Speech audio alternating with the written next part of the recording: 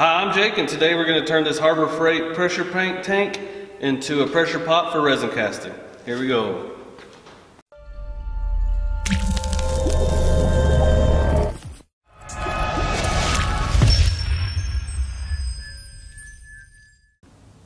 I've been making things for a while, woodworking, CNC, uh, all that kind of stuff, and I've known that the resin world has been out there, and, I, and I've been looking at it, but I really never got interested in taking the first step until watching Heath Knuckles videos.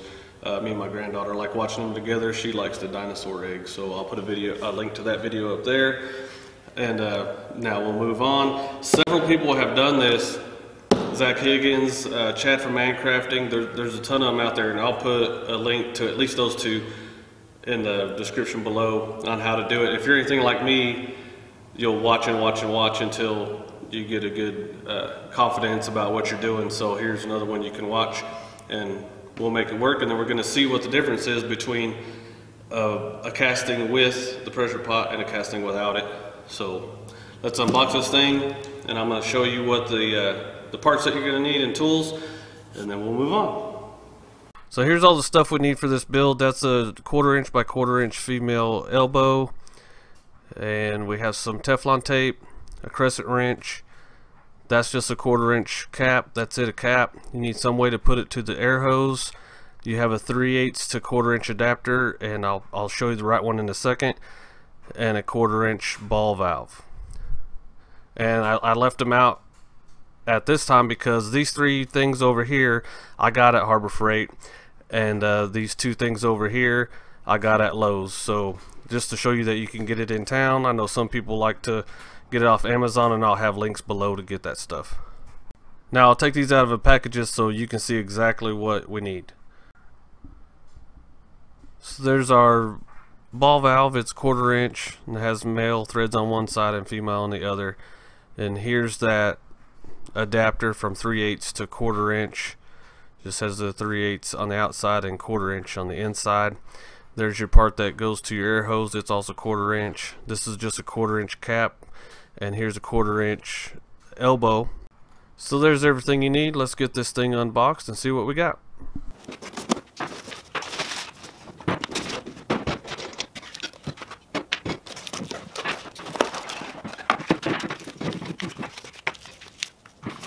So here's what we get. We get the paint pot.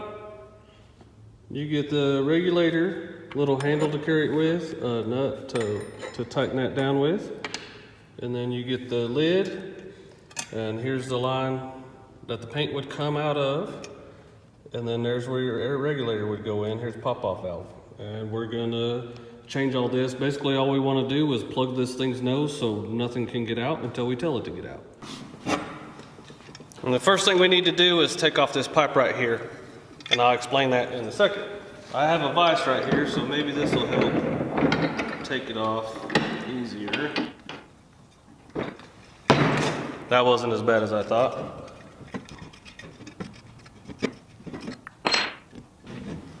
And now we're going to take off this one that usually goes to the paint. See it says paint outlet right there. We're going to take that off and I'm expecting this to be difficult.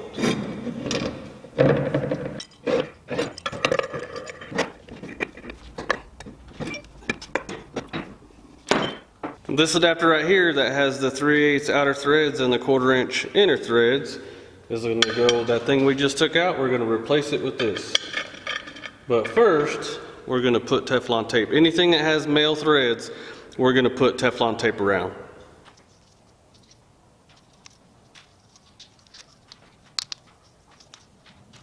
I'm just going to thread it in there.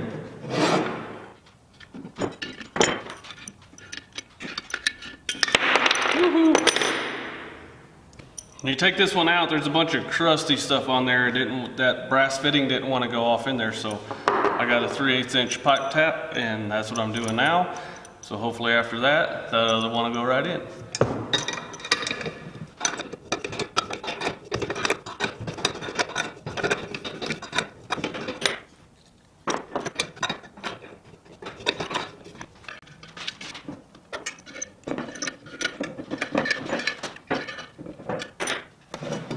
Next thing I'm going to do is I'm going to take this pop-off valve and I'm going to put it in that fitting that we just put in there. So I'm gonna take that out, I'm gonna retape it and put it in there. Here we go.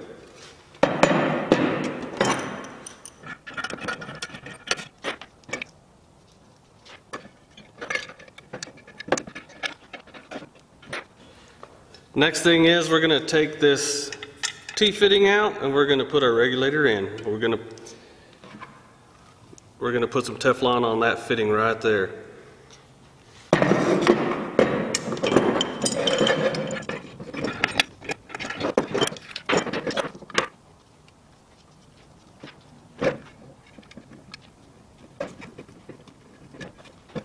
So normally how this would work, an air hose would come in here, and then an air hose would go out here to the paint gun, and then you have your siphon tube underneath here that's sucking paint out, and that's going also to the paint gun. So we plug that hole, and we're gonna have air coming in, and we're gonna cap that right there. So I'm gonna put those two fittings on. We put the coupler to our air hose right here, and we're gonna put our cap right here. And of course, we're gonna put Teflon tape around all the male threads.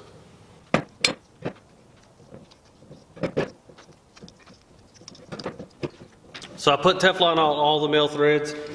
I forgot about this elbow right here. We're gonna put the elbow on here. And your ball valve is gonna go into your elbow and then your air connection is gonna go after that. That's where you're gonna plug your air in.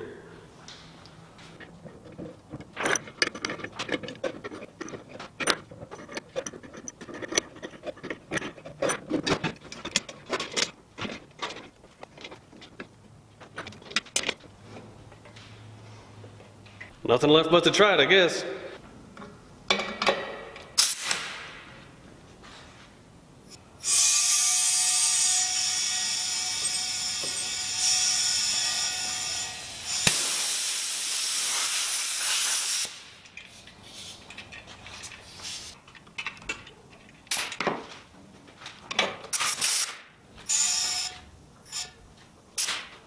So I had to mess with the pop-off valve a little bit. It does have an adjustment on it. You just spin it downwards to make it to make it hold more pressure. It was coming off real easy.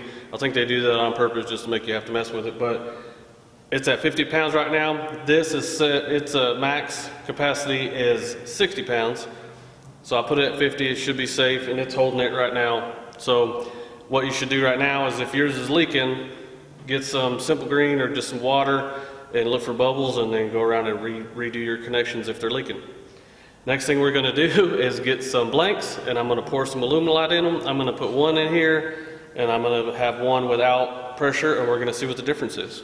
Well, I got these molds and I'm about to mix up some Alumilite and put one in the pressure pot and have one just sitting out and I'll have a heat gun to pop the bubbles to make it as fair as possible and we'll see what the difference is. But first, we'll take a closer look at the pot and at how it's concave at the bottom of what we got to do to fix it. Here's the inside of the pressure pot, and as you can see, it's way deeper in the center than it is over here. I say way deeper, probably an inch or so. But if you go to sit your blank in there, so if you fill that all the way up and then you can't get it straight, it's gonna spill out, this not be very good. So what I did, when I first got my CNC machine, I made this thing just playing around. And as you can see, I took a bandsaw and cut out a circle and I sanded them down a little bit to make it thinner because I want to save as much capacity in there as I can. And we get them. And now it's flat. Now it's time to weigh out the resin and come over here and mix it up and, and let's do this experiment. I make a little bit extra so I can play around with it too.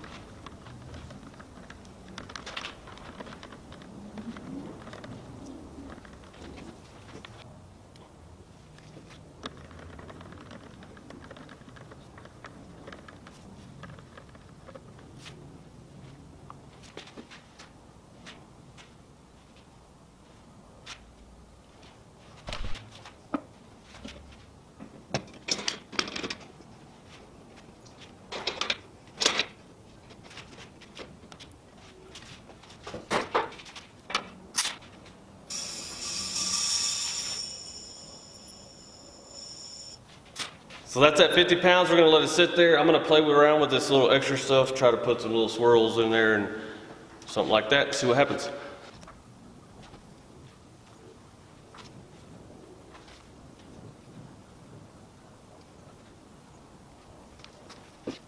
Now I have the heat gun plugged in over here and I'm gonna apply some heat to this stuff and pop the bubbles and see what we get.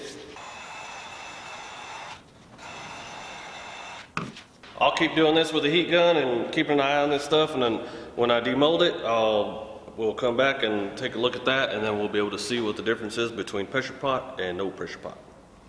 The directions for the Alumilite say to demold it uh, two to four hours. It's been about two and a half hours and I'm excited to do it so I'm not gonna wait any longer. I'll get the camera set up so you can see me demold these better. Remember this one on the right side of the table is gonna be the one that didn't get the pressure pot and the one on the left side is gonna be the one that did get the pressure pot. So let me set up the camera.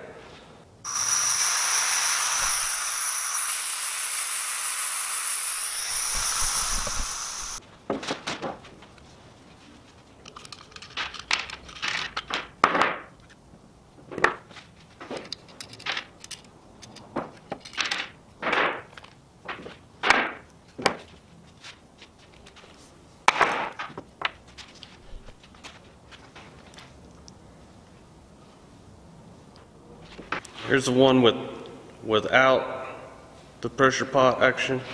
And get it to focus.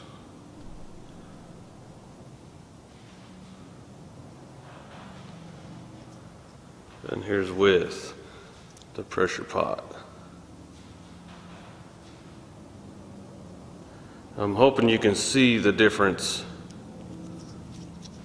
side by side.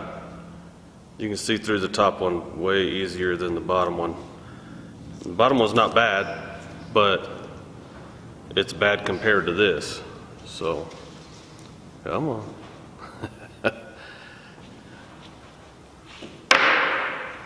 Here's that little experimental thing I did.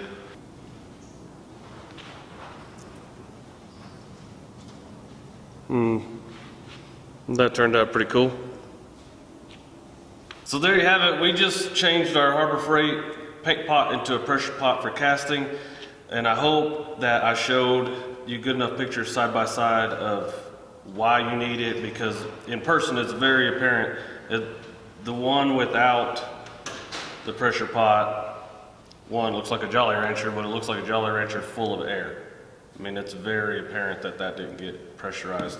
And this one doesn't have one air bubble in it.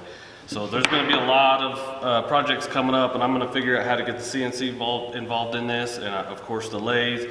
And uh, you can blame Heath on this again. Um, I'm going to remember that I'm going to put in the description below links to uh, Mancrafting and NV Woodwerks videos on how to do this. And uh, if this is your first time here, go ahead and subscribe, comment, share, and all that stuff. And uh, we'll see you next time. Y'all be good.